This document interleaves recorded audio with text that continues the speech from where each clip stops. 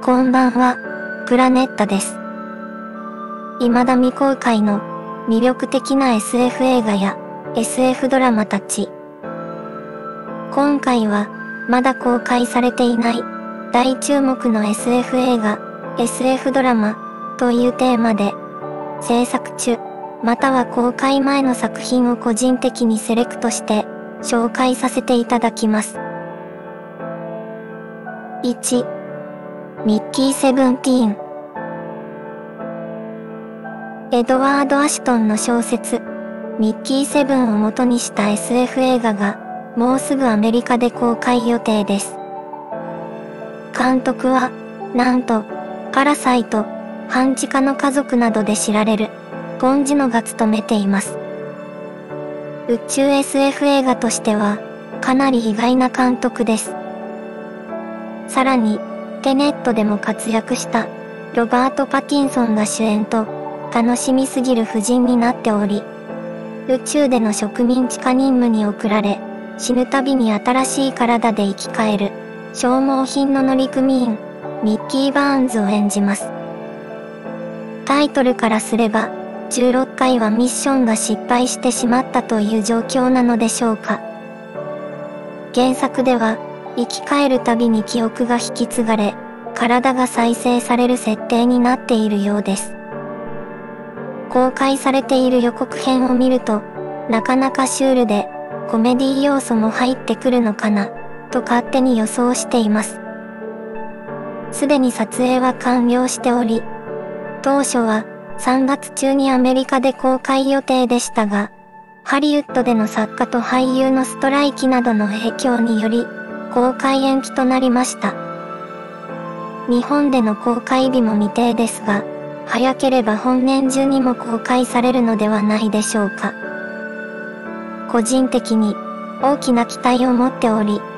とても楽しみにしたい SF 映画となっています。2ザ・シュラウズ。こちらは、デビッド・クローネンバーグ監督が脚本も担当した新作映画です。同監督のイースタン・プロミス、危険なメソッドなどにも出演したバンサン・カッセルが主演しています。妻の死に喪失感を抱える革新的な実業家であるカーシュが埋葬された死体とつながることのできるデバイスを開発。画期的ビジネスにより、世界を驚かせようとしていましたが、ある日、妻が眠る墓地が何者かに荒らされます。犯人の正体や動機を探るうちに、カーシュは自身の仕事や結婚生活を振り返り始める、というストーリーです。ザ・シュラウズというタイトルは、死体を包む布を意味します。本作品において、埋葬された死者の腐敗過程をリアルタイムで見られる装置という、またもやとんでもない機会を生み出してしまったデビッド・クローネンバーグ監督。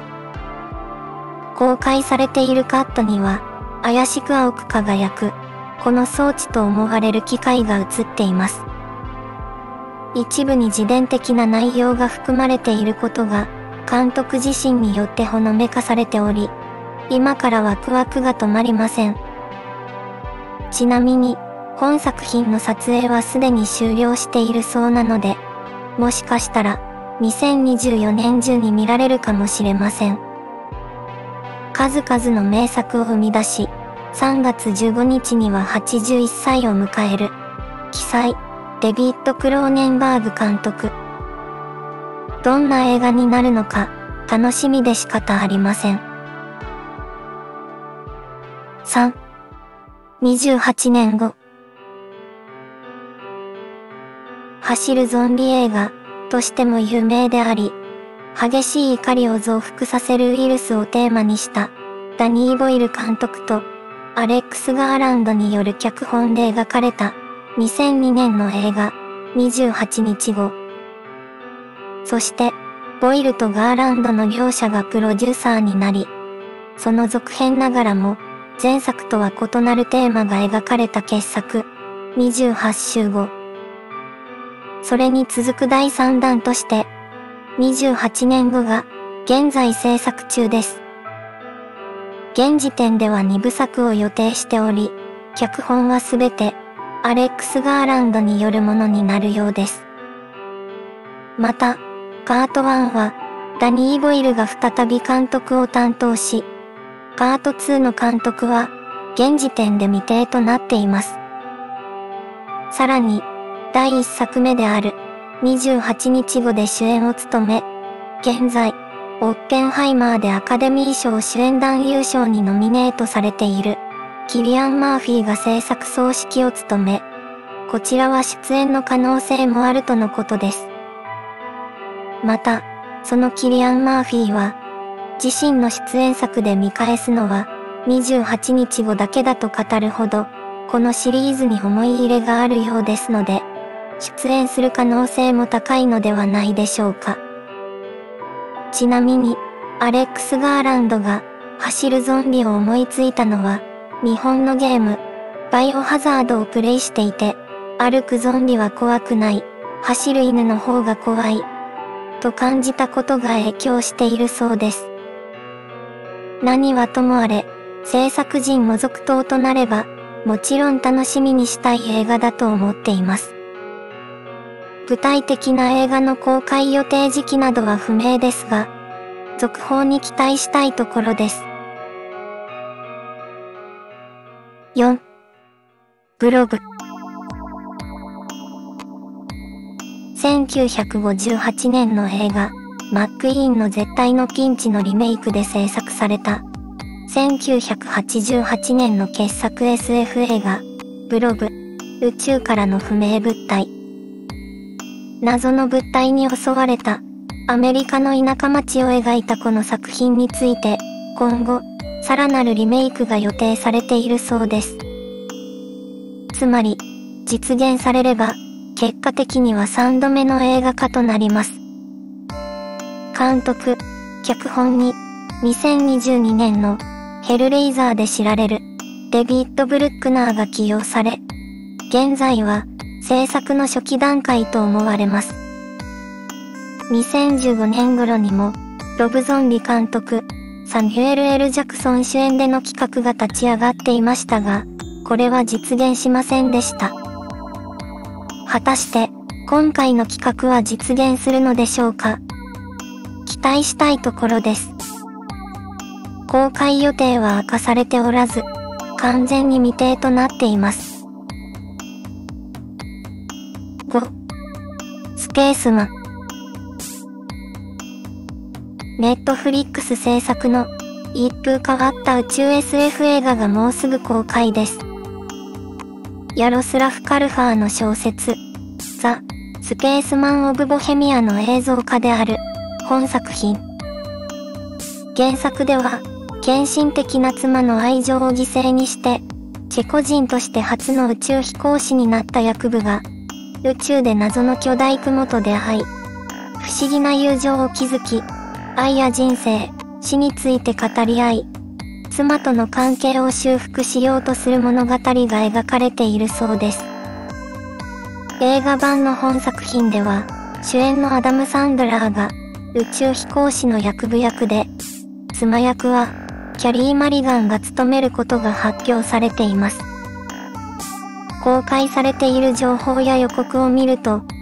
孤独な宇宙飛行士が船内に潜んでいた謎の生物と関わっていく物語が描かれているようで、なかなかシュールな雰囲気の内容が予想されます。すでに撮影は完了しており、こちらは本年3月1日公開予定ですので、もうすぐ見ることができます。原作を元にしたストーリーだとすれば、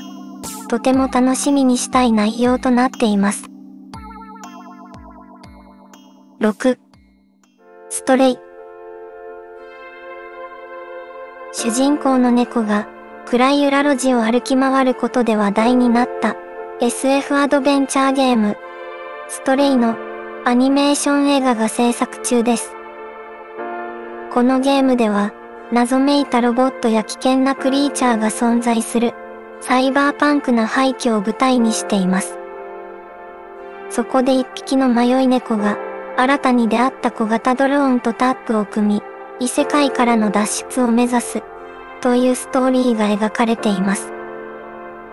この、2022年にリリースされたゲーム、ストレイは、猫のリアルな動きと、ダークな世界観が話題になり、世界で大ヒットを記録しました。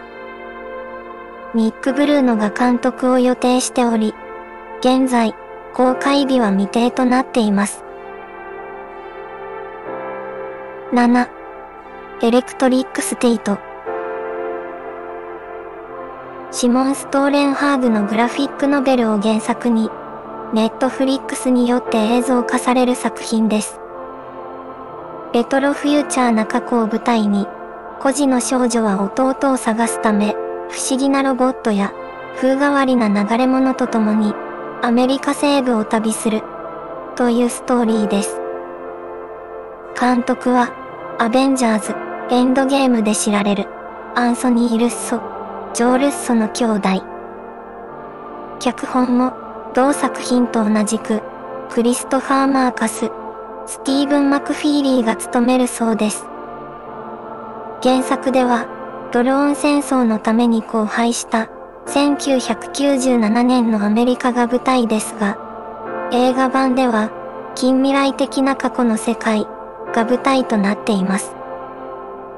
その他に主演は Stranger Things 未知の世界で一躍有名になったミリー・ボビー・ブラウンです。また、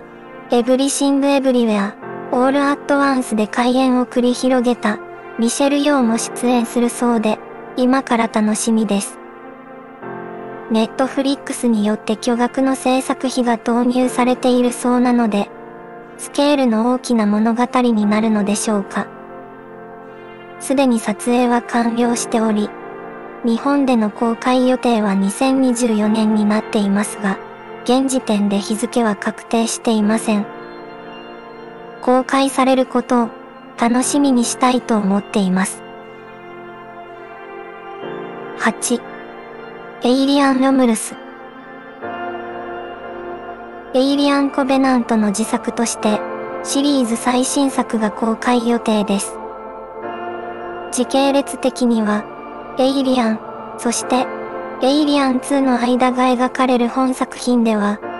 今までの作品とは違い、ごく平凡な若者たちを主人公にして、宇宙の彼方にある植民地化された惑星で、エイリアンの集団に襲われる恐怖が描かれるそうです。ジェームズ・キャメロンが監督を務めた、エイリアン2の制作スタッフが再集結しているそうで、リドリー・スコットがプロデュースを担当しており、ウルグアイ出身で、ドント・ブリーズなどで知られる、フェデ・アルバレスが監督を務めています。予告を見ると、宇宙船内におけるエイリアンの襲撃などが、ホラー風味で描かれていそうな雰囲気です。すでに撮影は終了しており、アメリカでは2024年8月16日に公開予定ですが、日本での公開日は未定となっています。9. I am Legend 2 2007年に公開された、ウィル・スミス主演の大ヒット作の続編が、現在制作中です。ウイルス感染により、人類の大半が死に絶えた世界で、一人孤独に生き残った科学者を描いた、前作、アイアムレジェンド。DVD などの特典映像で描かれた別エンディングでは、ウィル・スミス演じる主人公が生き残る姿が描かれました。そんな映画の続編が、現在制作中です。引き続き脚本を担当する秋葉ゴールズマンは、人気ゲーム、ラストオブアースからの影響を明かしつつ、前作の数十年後から物語が始まることを明かしています。人類が主役ではなくなった地球が世界を取り戻していく姿も描かれるようです。引き続きウィル・スミスが主演することも明かされており、あらすじからもかなり楽しみにしたい内容です。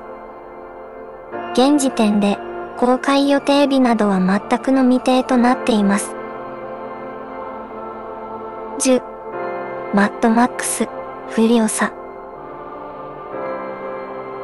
ジョージ・ミラー監督による、ポストアポカリプスの代表的なシリーズである、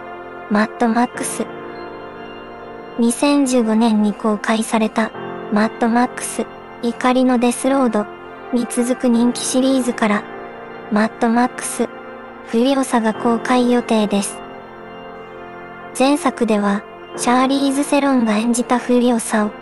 アニャ・テイラー＝ジョイが引き継いで演じます。舞台は、世界の崩壊から45年後の世界。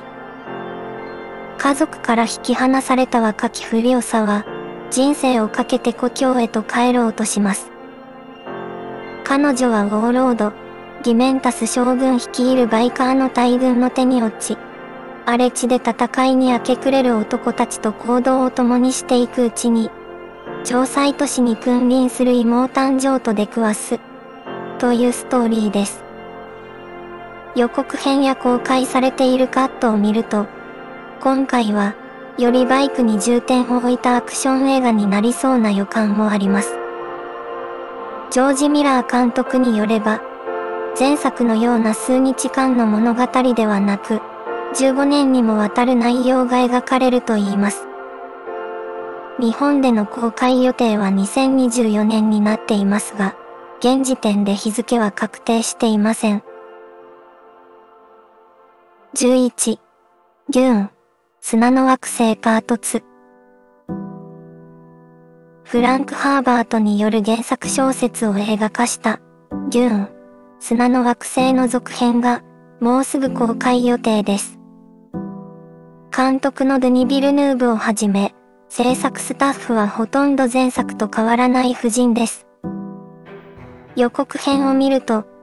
大迫力のサンドワーム襲来シーンや、大勢の人々が映るシーンなど、超大作と言っていい内容が予想され、前作に引き続き、すごく面白そうな内容です。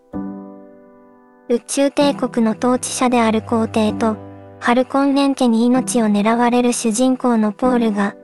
惑星デューンの砂漠に暮らす先住民、フレメンと共に、反撃を開始する、というストーリーです。引き続きティモシー・シャラメが主演を務め、ゼンネイやレベッカ・ファーガソンなど、前作の出演者に加え、フローレンス・ピュー、レア・セドゥなど、豪華な俳優陣も魅力的です。この映画シリーズについて、ドゥニ・ビルヌーブ監督は、第3弾も希望しているそうですが、現時点では未定となっています。また、第3弾が実現された場合でも、ビルヌーブ監督自身はシリーズを卒業する予定であることも示唆されているのですが、ひとまず第2弾となる本作品に期待したいところです。2024年3月15日、もうすぐ公開予定の映画となっています。12、ルテンの地球、太陽系脱出計画。中国の SF 対策シリーズ第2弾の作品が、もうすぐ公開予定です。本作品では、前作、ルテンの地球よりも、前に起こった出来事が描かれます。そう遠くない未来に起こり得る太陽系消滅に備え、地球連合政府による巨大プロジェクト、遺産計画が始動します。これは、1万機に及ぶロケットエンジンを使って、地球を太陽系から離脱させる、壮大な計画です。人類存亡の危機を目前にして、各国の思惑や争いが巻き起こる中、自らの危険を顧みずに立ち向かった人々がいました。亡き妻への思いを胸に、宇宙へと旅立つ飛行士や、禁断のデジタル技術によって、事故死した娘を蘇らせようとする、量子科学研究者のトゥ。そして、大きな決断を迫られる、連合政府の中国代表、ジョー。多くの犠牲を払いながら、地球や人類の存亡をかけた最終作戦が始まる、というストーリーです。前作に続いて、グ・ファンが監督を務めます。中国映画ということもあり、プロパガンダ的な演出もあると予想されますが、個人的には、それも含めて楽しんでしまえばいいかなと思っています。すでに第3作目の制作も決定しており、今後は今にも増して、中国を代表する SF シリーズになっていくのではないでしょうか。日本では、2024年3月22日に公開予定となっています。13. インフィニティプールデビッド・クローネンバーグ監督の息子であり、ポゼッサーなどの問題作を生み出してきた、ブランドン・クローネンバーグ監督が手掛けた、スリラー映画が公開予定です。人間の分身が生成される、という、SF 要素らしきものも含まれた内容になっています。スランク中の作家であるジェームスと、その妻は、高級リゾートとして知られることを訪れました。インスピレーションを得ようとバカンスを楽しむ彼は、自分の小説のファンだという女性に話しかけられます。食事会で意気投合した彼らは、立ち入り禁止区域へドライブに出かけますが、そこで人を引いてしまう、というストーリーです。分身をテーマにした本作品ですが、その不快な内容ゆえに、海外では賛否両論のようです。日本では2024年4月5日に公開予定となっていますので、詳しい情報は見て確かめたいと思います。14. ゴーストバスターズフローズン様2022年にオリジナル版の30年後を描いたゴーストバスターズアフターライフが公開されたゴーストバスターズシリーズ。そんなシリーズの最新作がもうすぐ公開予定です。舞台はとても暑い真夏のニューヨーク。すべてを一瞬で凍らせるパワーを持つ史上最強のゴーストが登場するというストーリーです。夏が凍るという派手な設定で、またもやゴースト退治が幕を開けることになります。予告を見ると、完全にディザスター映画的な雰囲気ですが、このシリーズらしい、気の抜けた面白さになっているようです。制作、脚本は、ゴーストバスターズ、アフターライフで監督、脚本を務めた、ジェイソン・ライトマン。彼は、ゴーストバスターズの生みの親である、アイバン・ライトマンの息子でもあります。そんな本作品は、2024年3月29日、もうすぐ公開予定となっています。15、ゴジラ×コング、新たなる帝国。2021年に公開された、ゴジラ VS コングの続編であり、モンスターバースの第5作目が、もうすぐ公開予定です。前作から、監督のアダム・ウィンガードをはじめ、脚本のテリー・ロッシオや出演者も3名が続投しています。ポスターと予告以外は情報が伏せられているようなのですが、予告を見ると、大迫力のバトルが世界各地で展開されるような内容になりそうです。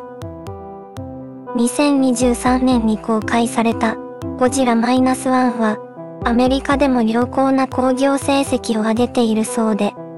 ゴジラ作品の公開はしばらく続きそうです。こちらは2024年4月26日に公開予定となっています。16、猿の惑星、キングダム。2017年の猿の惑星、グレート王の自作であり、猿の惑星、リブートシリーズの第4作目が、もうすぐ公開されます。舞台は、今から300年後の世界。ウイルスが猛威を振るい激変した地球で、大都会だった人間の世界は荒廃。人間から猿へ、地球の支配者の交代劇が起こり、高い知能と言語を得た猿たちが、文明的なコミュニティを持った巨大な帝国、キングダムを築こうとしていました。一方で人類は退化し、文化や技術、社会性も失い、まるで野生動物のような存在となっていた、というストーリーです。こちらは、メイズランナーシリーズで知られる、ウェスボールが監督を務めています。すでに公開されたポスターでは、猿が馬に乗り、その手には鳥が乗っている様子が伺えます。物語の舞台は、地球の支配者が人類から猿へ交代してから何年も経過した後の世界。高い知能と言語を得た猿はいくつかの勢力に分かれており、それぞれが発展を遂げていて、それに比べて人間は落ちぶれてしまった設定になっているようです。少し、バトルフィールドアース、みたいなあらすじなのが気になりますが、予告を見る限り、相変わらず映像が素晴らしく、人間ドラマならぬ、猿ドラマが見れるのではないでしょうか。本作品は、2024年5月10日に公開予定です。17、3体。アジア圏作品として、初のヒューゴー賞長編部門を受賞した SF 小説、3体が、ネットフリックス制作で実写ドラマ化されます。ある時、地球に向けて、謎の星系からの信号が送られ続けていることが判明。物理学者の父を文化大革命で失った中国人科学者の家、ウェンジェは、謎めいた軍事基地へのスカウトを受け、人類の未来を左右するプロジェクトが進行していることを知ります。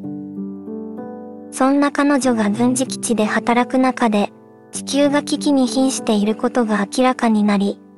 人々は異性の文明との接触を通じて、自身の存在や宇宙の秘密について触れることに、というストーリーです。あらすじの通り、壮大なテーマが描かれる本作品は、香港生まれで、俳優でもあるデレク・ツァンが監督を務めており、Game of Thrones の制作陣によって制作されています。おそらく、原作が膨大な内容ゆえに、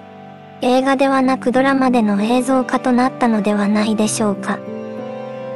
予告を見ると、なぜかイギリスのロックバンドである Radiohead の名曲、 Everything in Its Right Place のカバーが流れ、驚きました。サスペンス調の演出とともに、大迫力の映像になっていそうな雰囲気です。スター・ウォーズサーガが終わり、マーベル作品の人気に陰りが見えてきた2024年。そんな穴を埋めるべく、いよいよネットフリックスが SF 作品に本気を出してきたのかもしれません。本作品は2024年3月21日、もうすぐ公開予定となっています。18フォールアウト。最後に紹介するのは、個人的に大好きな、核戦争後の世界を舞台にしたゲームシリーズ、フォールアウトのドラマ版です。アマゾンの出資による映像化であり、クリストファー・ノーランの弟である、ジョナサン・ノーランと、ゲームの開発元であるベセスダソフトワークスのトッド・ハワードが共同で制作しています。原作のゲームは、まるで SF 映画の世界に入り込んだような緻密な設定が魅力的な作品です。放射能によって変異したミュータントや、優しい心を持った自警団、人造人間を製造する研究者、アナーキストなど、様々な勢力が存在する、朽ち果てたアメリカが描かれます。現時点では、ドラマ版オリジナルのキャラクターによる物語だと考えられますが、もしかしたら、ゲーム版のキャラクターも登場するかもしれません。莫大な制作費がかけられているという噂もあるので、とても楽しみにしている作品です。こちらは、2024年4月12日に、Amazon プライムビデオにて配信開始予定となっています。以上が、おすすめの未公開 SF 作品になります。